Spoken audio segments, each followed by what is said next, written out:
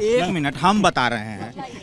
लीजिए। पिछड़ों में जाति का बहुत महत्व नहीं है वो जाति अलग विषय है। ब्राह्मण में पिछड़े नहीं है दलित नहीं है। ब्राह्मण में भी पिछड़े हैं दलित हैं। हमारे माननीय जी उनकी बात करते हैं। हाँ। समाजवादी पार्टी भारतीय जनता पार्टी को जिताने के लिए लड़ रही है। अच्छा। उदाहरण मैं दे दूँ। कैसे?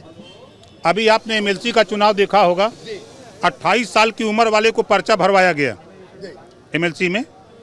और पर्चा भरवाने के बाद कौन कौन प्रस्तावक थे?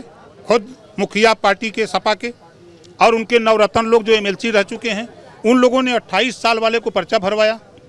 जानबूझ करके कि भाजपा जीत जाए। अब आइए इधर। ओपी नाम वाले उधर भी समाजवादी पार्टी से छोटे मोटे नेता अरे वो पी ओपी तो हिया असली ओपी हिया है। असली ओपी। राजभर है। उधर कह नहीं तो इधर आनंद तिवारी है।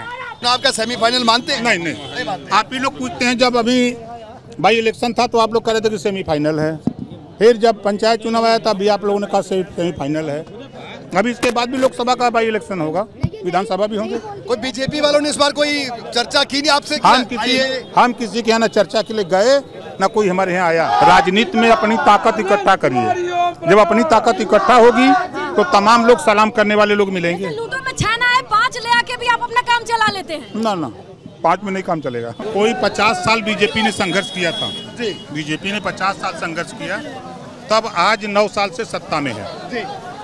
इसके पहले बीजेपी का वही हस्र था जो आज भारतीय समाज पार्टी के- विषय में लोग सोच रहे हैं। यह है ना प्रमाण? तो प्रयास अनवरत करना चाहिए। सफलता के लिए प्रयास अनवरत करना चाहिए। और प्रयास करने वाला व्यक्ति का कभी वो सफल नहीं हुआ है। कभी असफल नहीं हुआ है। शहर में बीजेपी मज़बूत रहती है हमेशा। जो सच्चाई है उसको नकारा नहीं जा सकता है। जो देहात के इलाके में जो वोटर है वो वोटर हम लोगों ने मन बना कर तैयार कर लिया है। आप देखिएगा जब रिज़ल्ट यहीं बनारस आएगा तो आपको भी लगेगा कि इतना वोट इनको कैसे मिल गया। आपको क्या लग रहा है कि कोई मुद्दा स्थानीय मुद्दे हावी हैं या बड़े मुद्दों पर ये चुनाव लड़ रहा है क्योंकि सब जगह आप प्रचार में जा रहे हैं? नहीं देखिए जो ये चुनाव हो रहा है सच्चाई ये है कि विपक्ष बिखरा हुआ है। लेकिन लोग नफरत कर रहे हैं। नफरत करने वाले लोग वोट नहीं देते हैं। अब स्थिति ये पैदा हो गई है कि समाजवादी पार्टी अगर वास्तव में उत्तर प्रदेश में दोबारा शासन में आना चाहती है तो अब उसको नान यादव मुख्यमंत्री बनाना पड़ेगा। नॉन यादव? नान यादव। चाहे चाहे वो पट, चाहे पटेल को बनावे चाहे मौर्या को बनावे चाहे राजभर को चाहे बीन को चाहे चौहान को चाहे पाल को किसी को बनावे। अरे तो जब बाईस लड़ रहे थे तब ज्ञान नहीं दिए। अब आप आप बाईस की बात कर रहे हैं पूछिएगा अंदर। अब अंदर की बात हम आपको बताने लगेंगे तो मामला बिगड़ जाएगा। राजनीति में अब परिपक्वता ही कहती कर लीजिए। कि जिसकी वजह से वो फेल हुए। जनता तो चाहती थी उनको सीएम बनाना लेकिन उनकी अपरिपक्वता जिसको शिवपाल यादव जी भी कह रहे थे। और सुभाषपा की एक चीज़ हमको लगती है ना बहुत लंबा किसी दूसरे पार्टी से पटरी नहीं खाता है। गठबंधन टूट जाता अच्छा है। सपा से गठबंधन बसपा से जल्दी टूट गया।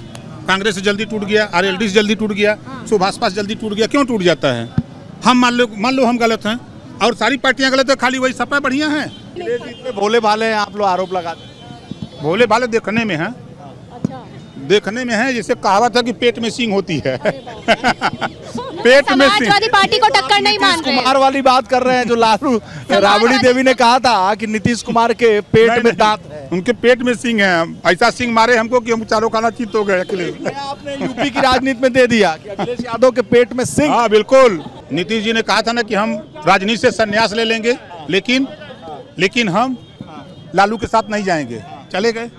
बीजेपी से क्या कहा था कि हम हम घर बैठ जाएँ लेकिन हम बीजेपी के साथ नहीं जाएँगे। लेकिन गए। तो ये क्या है?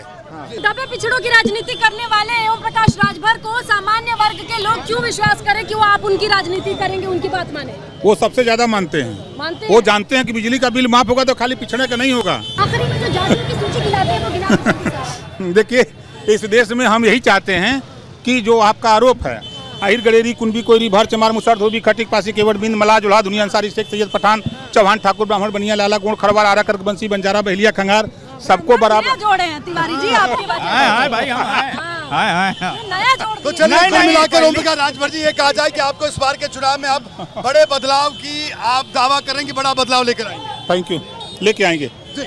तो बिल्कुल ओम प्रकाश राजभर जी हमारे साथ मौजूद है ओम प्रकाश राजभर जी आपको शुभकामनाएँ। तिवारी जी आपको भी। अब देखते हैं कितना बड़ा बदलाव लाते हैं। चुनाव के बाद फिर बात करेंगे आपसे। जल्दी मिलते हैं। जी तो बिल्कुल ओम प्रकाश राजभर जी हमारे साथ मौजूद थे जो दावा कर रहे हैं कि इस बार नगर निगम के चुनाव में बदलाव लेकर आएँगे।